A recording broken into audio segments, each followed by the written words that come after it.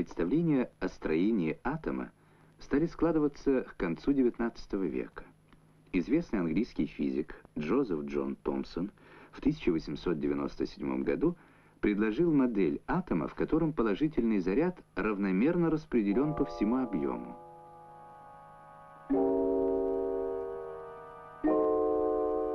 Свойства атомов он пытался объяснить расположением отрицательно заряженных частиц электронов, вкрапленных в облако положительного заряда.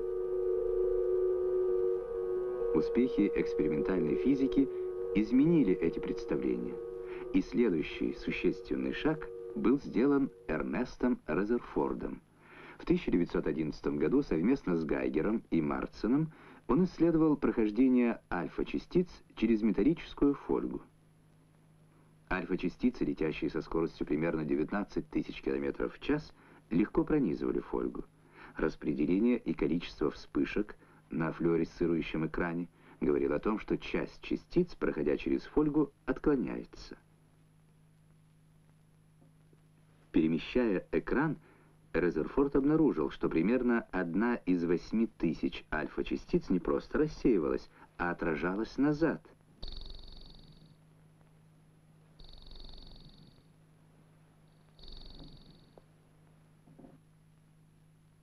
Позднее Резерфорд говорил, «Это самое невероятное событие, которое было в моей жизни.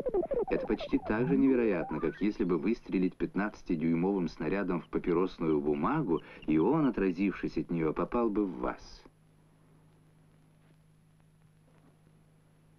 Это невозможно объяснить, если не предположить, что подавляющая часть массы атома сконцентрирована в крошечном ядре.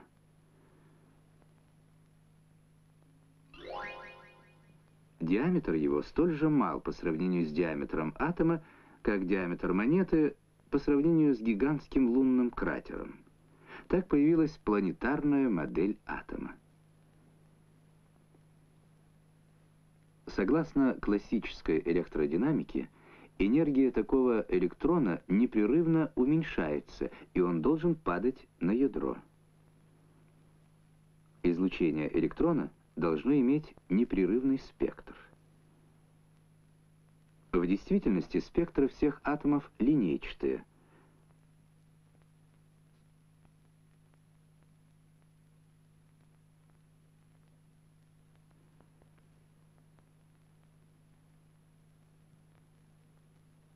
Наиболее прост спектр водорода, состоящий из нескольких серий.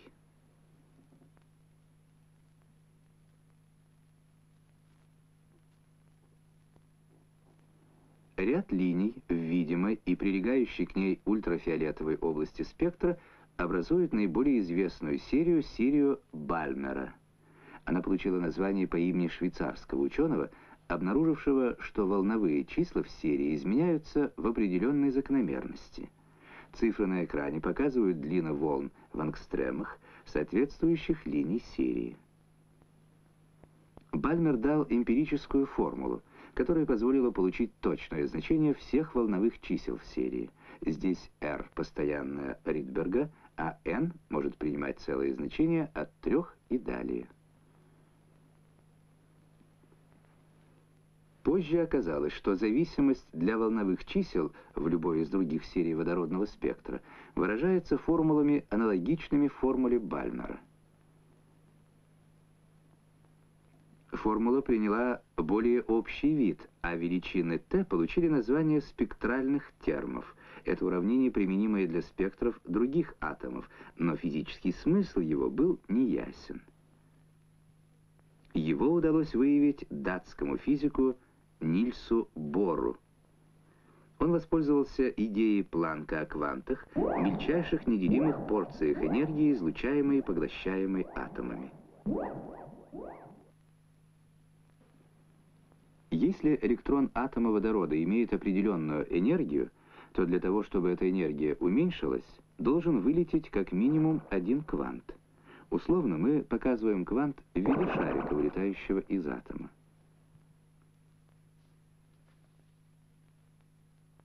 Энергия кванта может быть различной. Любое изменение энергии происходит лишь определенными порциями, то есть энергия электронов в атоме может принимать дискретные значения. Стал ясен смысл спектральных термов. Они пропорциональны энергии электрона в атоме. Если энергия электрона атома до изменения имеет значение Е1, а после Е2, то волновое число излучаемого кванта определяется этой формулой где h – постоянная планка, c – скорость света.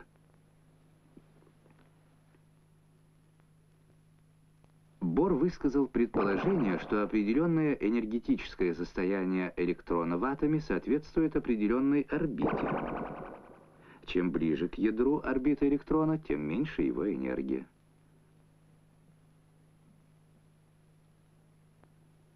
Бору удалось вычислить стационарные орбиты для атома водорода.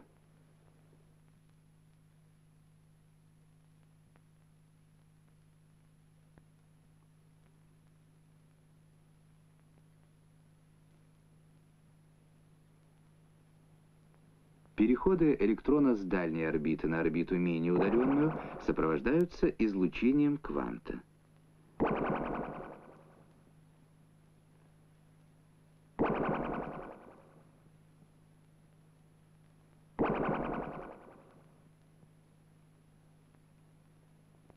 Спектры любых элементов — это как бы отпечатки частот всех фотонов, испускаемых атомами при переходе электрона с одной разрешенной орбиты на другую.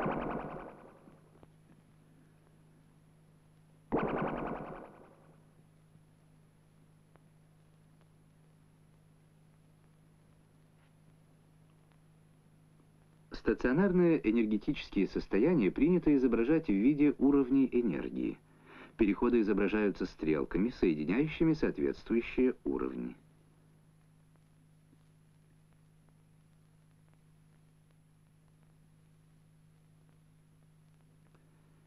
В дальнейшем предположили, что электроны в атоме могут двигаться не только по круговым, но и эллиптическим орбитам, имеющим различную ориентацию в пространстве. Однако последующее развитие науки – углубило представление о строении атома. Следующий шаг в развитии представлений о микромире связан с именем де Бройля и его открытием, сделанным в 1924 году. Он обосновал двойственную корпускулярно-волновую природу микрочастиц.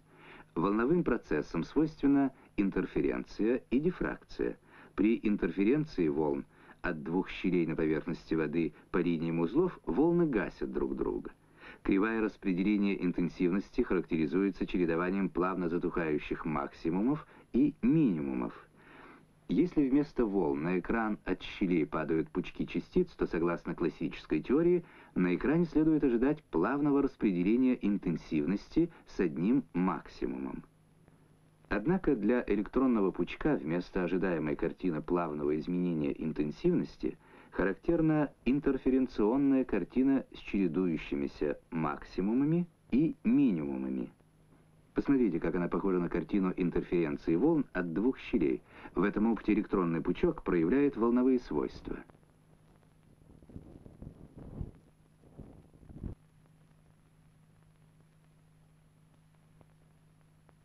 Луи де Бройль выдвинул предположение, что любая материальная частица с импульсом P аналогична волне с длиной лямбда, определяемой этой формулой.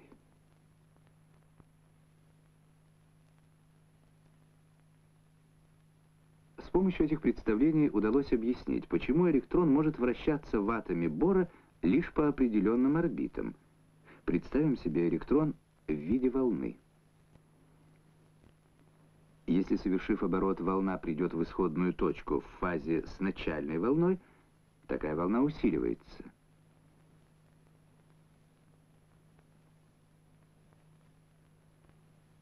Если же волна приходит в противофазе, она гасится.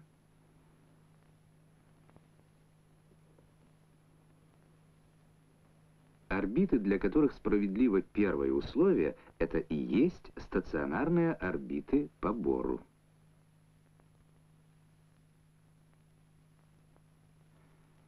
Однако корпускулярно-волновые свойства электрона и законы его движения не могли быть выражены наглядным языком классической механики. Новая механика, в основе которой лежали работы австрийского ученого Эрвина Шрёдингера, получили название квантовой механики. Законы движения в ней выражены уравнением Шрёдингера. Здесь дельта – оператор Лапласа, М – масса частицы, Е – полная энергия частицы, У – потенциальная энергия. Волновая функция пси определяет состояние частицы, вероятность ее нахождения в элементе объема.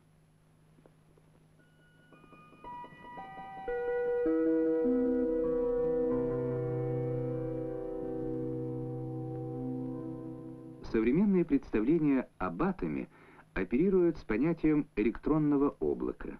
Плотность электронного облака в различных элементах пространства – определяется вероятностью пребывания в них электрона.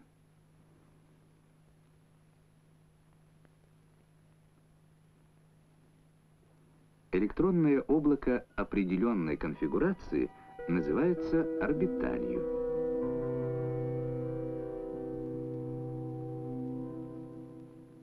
Таким образом, современная теория отказалась от планетарной модели атома. Движение электрона удобно рассматривать в полярной системе координат, центр которой совпадает с ядром атома. Тогда положение электрона определится величиной и углами наклона радиуса вектора. Вероятность нахождения электрона в определенной области орбитали определяется квадратом модуля волновой функции.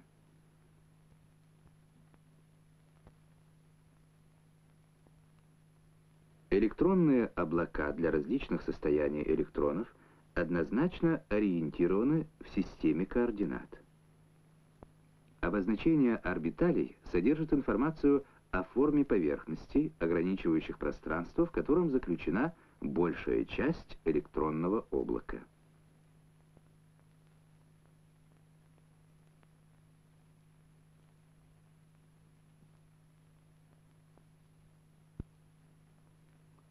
Состояние электрона в атоме полностью определяется четырьмя квантовыми числами.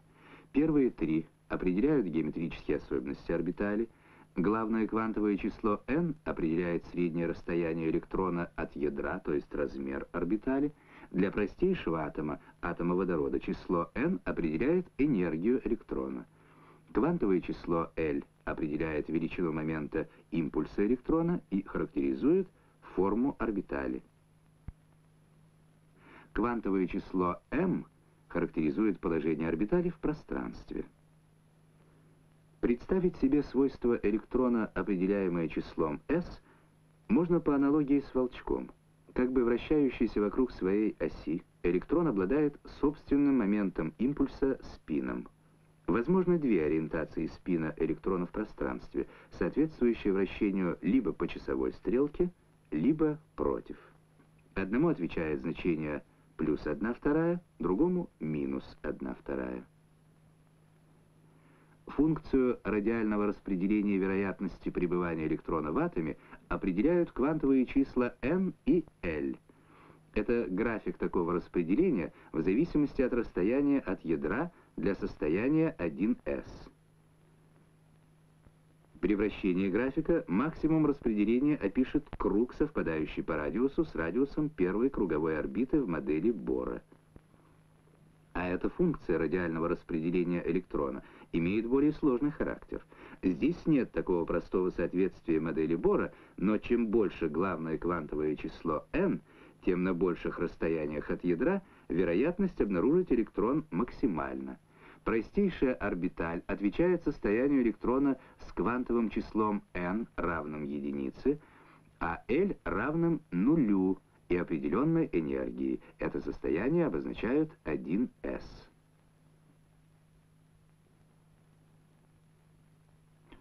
Электронное облако здесь сферически симметрично – Получив энергию в виде кванта, орбиталь изменяется. Квантовые числа принимают значение, соответствующее новому энергетическому состоянию. Облако имеет вид гантели. Согласно принципу Паули, в атоме не может быть двух электронов с четырьмя одинаковыми квантовыми числами, и максимальное число электронов, которые могут обладать данным главным квантовым числом n, ограничено. Поскольку n определяет среднее расстояние электрона от ядра, то все электроны, обладающие одинаковым n, называют электронным слоем и обозначают определенными буквами. Зная строение атома, можно понять сущность периодической системы Менделеева. На условной схеме с круговыми орбитами объясним периодичность физико-химических свойств, открытую гениальным ученым.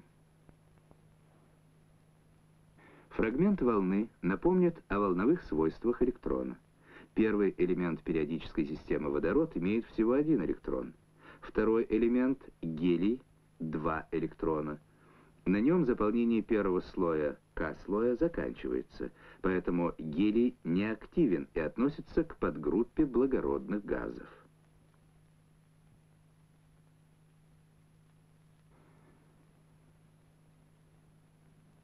Следующий электронный слой, L-слой, может содержать 8 электронов, и заполнение его начинается с элемента лития и заканчивается неоном. Имея заполненную внешнюю оболочку, неон также не активен, как и гелий. Периодичность свойств связана с тем, что химические свойства атомов определяются числом электронов на внешних оболочках. Несомненно, наши представления о строении атома будут еще углубляться, ведь только в 1970 году электронный микроскоп позволил сфотографировать первый атом, атом урана – включенный в сложное органическое вещество.